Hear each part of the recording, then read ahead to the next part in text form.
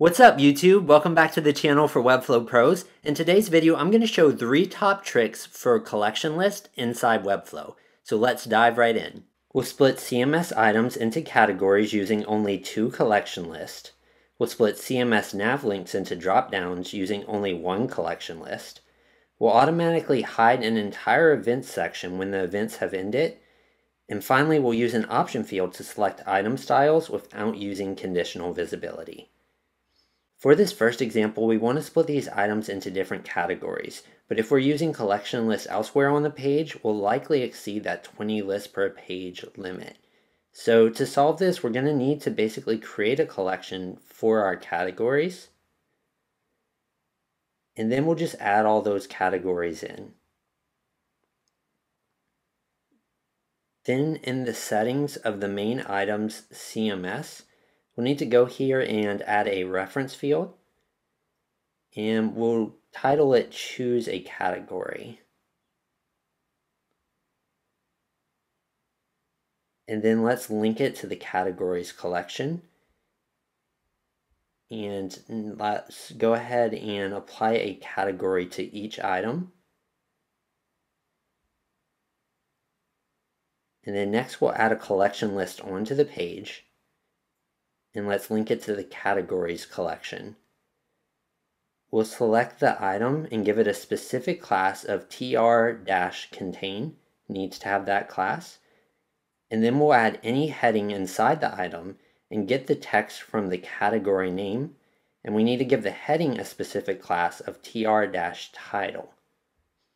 Then we'll drag a div underneath the title and give it a class of tr-list. So inside the tr-contain, we have the tr-title and the tr-list. Now let's add another collection list under the first one. And let's set its source to the main items. We'll give the wrapper a class of tr-wrap. Let's give the list a class of tr-list. And then let's give the item a class of tr-item. Let's paste our card design inside the item. And then we'll go ahead and set the desired display settings on the actual list, which will affect the list inside the first collection as well. And then next we'll drag basically a paragraph text inside the card. And let's go ahead and get the text from the category name and we need to give this a class of tr-category. So our code is basically going to find all the category text right here that are inside the tr-wrap. It's also going to find all the tr-titles that are inside the tr-contain. And then if the text content of the two matches, it'll add the item inside the corresponding list. So we can set the tr-category uh, to display none to hide it from the page. We can also get the tr-wrap and basically set that to display none as well because we won't need to actually see that part on the page. Um, so then I'll paste this code link in the description of this video, but let's copy it and let's paste it inside the closing body tag section under our page settings. And then let's just save and publish the site to see our changes. All the items have been split into the corresponding categories, and we've only had to use two collection lists to do this. So if we actually want to change the order that these items are showing up, we can select the tr-wrap and set its sorting order to anything we want. In this case, we'll sort the items alphabetically by title. So basically on the live site, what we should see is the items will all appear in alphabetical order under each category. So we scroll through each category and you'll notice that each item inside the categories are sorted alphabetically.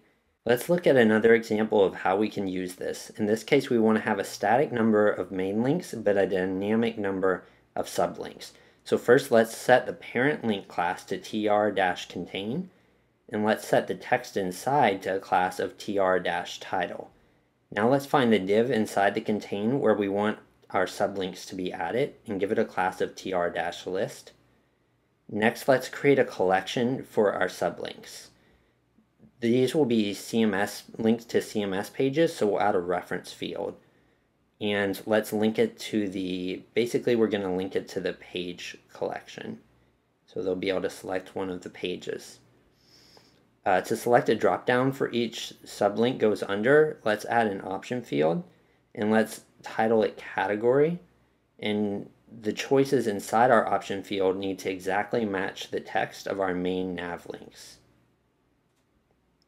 Then we can basically save this collection and add our sublinks in.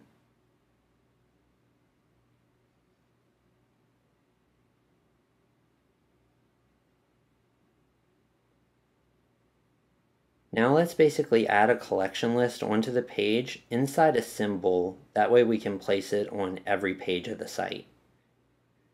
Um, we'll set its source basically to the navlinks collection.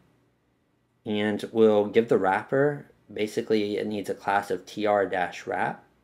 Uh, the list, again, will have a class of tr-list. In the item, we're going to need to give a class of tr-item. Now let's paste our cards inside the item and we'll pull the link um, basically from the selected collection page. And let's also get the text from the page name. And then we'll need to drag paragraph text inside the item. And let's get the text basically from that option field so we know which drop down it goes under uh, give it a class of tr-category, and we can set its display to none again. We don't actually need to see it.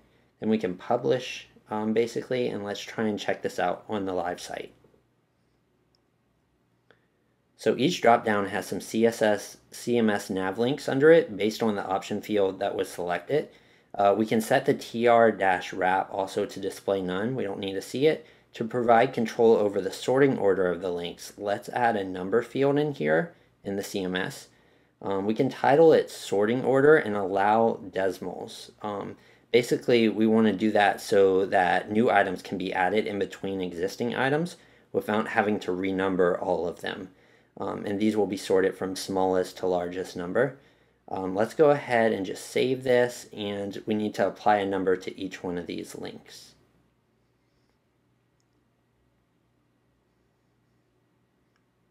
All right, so with the wrapper selected, let's add a sort order based on that number field and sort it from smallest to largest number so the numbers can be applied infinitely.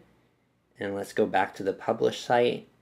Um, we'll notice that each one of the sublinks are appearing from smallest to largest number within each dropdown, so they're being sorted. In this example, we'll hide an event when it's over, and we'll hide the entire section when there's no events. Let's start by adding a date field and let's title it start day.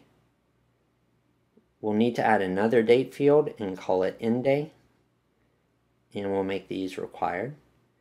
And let's save our changes and let's uh, go back over to the page and limit the collection list to only show three items at a time and apply a sort order to the start date from oldest to newest so the events show up in chronological order then we'll apply a filter to the end date and set it to basically after or equal to zero days um, in the past. And let's save. So then from there, now if we move the last day of one of our events from today, uh, move it to yesterday, um, now it shouldn't show up because it's in the past. So we're only going to see events that are happening either today or sometime in the future. If we want the entire event section to disappear when no events are available, um, we'll need to add this code that I'll leave in the video description. And we'll just copy it and need to paste it inside the closing body tag section. And then all we need to do is give the item basically a class of CMS item. Again, no capital letters, no spaces. And then we'll give the section a class of CMS, CMS section. And now let's um, let's archive our events and just to test it out, see if it works. If we archive these and then we can save, let's go over to the publish site. Um, so now this entire section basically doesn't appear um, because we have no events in this section. In this last example, what we want to do is basically style all these collection items based on a drop-down field in the CMS. So if we go over to our collection and we look at all these items, which are called sections, uh, we need to add an option field and we'll call it select style. So basically the client will be able to select a style. All of these need to have no capital letters, no spaces. So we'll have image dash or text dash only, image dash only, and then reverse dash order. Save, the field will be optional. And then we need to apply one of these styles to each one of the items. Um, so we'll make sure to give each one of these items a different style just to test it out. All right, and we can save that. All right, so now we need a way to know what the style that was selected was. So if we drag an embed onto the page and just add a div in here, um, then we're going to give that div a class. And then we're going to set the class equal to a dynamic field called select style. So whatever that class is, that style they selected, text only, image only, it's going to pull up. Now we need to apply a class to the parent called reverse. If the class inside the div is reverse order, it's just going to use Flexbox to switch the order. So we can actually basically use the wizardry builder, jQuery builder that I created. We need this to happen on page load, and our target class is basically going to be this reverse dash order so we're looking for that class inside the div that's in the CMS dropdown. Um, it's inside this div, so we'll get the parent, which is the entire item of that, and then we want to add a class to that parent. The class we want to add is the one we created in Webflow called reverse. So we can just copy all this and come back over to our page settings, paste it in the closing body tag page section there and save. And then let's just publish and test it out on the live site. So only one of them has that class or reverse order, so you'll see only that middle one is reversed, and the other two are still normal. Um, so now let's take this a step further. We know that we also have a class in there um, basically for, I want to say, image only and text only. So this is our text only. If we add that class um, to this, we're center aligning it, we're adding some radius, extra padding, changing the flex box, and then we're just hiding the image. So basically this time instead of adding the class to the parent, which is the whole item, we have these two divs inside that we need to add this class of text only to. So this one, we're basically on page load again. We're looking for a class of text only. Any item that has that class of text only, we're going to grab the container. Then we're looking for a child inside the container, which is the item media this time. And we want to add a class to it of text only and that's basically just going to hide it. Now if we add another one here, um, this time we want to target the, um, the copy block here. So we're going to make target that child copy block and we still want to add the same class of text only and we're basically going to use that combo class in Webflow to style it however we want. Um, and we'll paste this in here. Really, the advantage of this is it helps with page load time because you're not having to hide entire blocks of content with conditional visibility. Um, you're just changing the style of them by adding classes. And you're not having two sets of each headings inside. Um, so let's refresh. All right, so now we basically have the regular setup, a reversed, and a text-only block right here. Um, and it added those classes for us. Um, so we have one more to do, which is the image only. Basically, we want to add that class of image only to this, and then we want to add the class of image only to the photo as well, and that'll make it full width. Um, and we can adjust that class on different breakpoints too to style each one responsively independently. In our jQuery builder, we're looking for a class of image only that's inside of that custom embed. We're going to grab the parent of that, which is the container, and then we're going to grab the child, and then we're going to set those children to have a combo class of image only. So let's go ahead and copy that and let's paste it inside our closing body tag section. Just add it as another line of code. And let's save and we'll remove those classes again.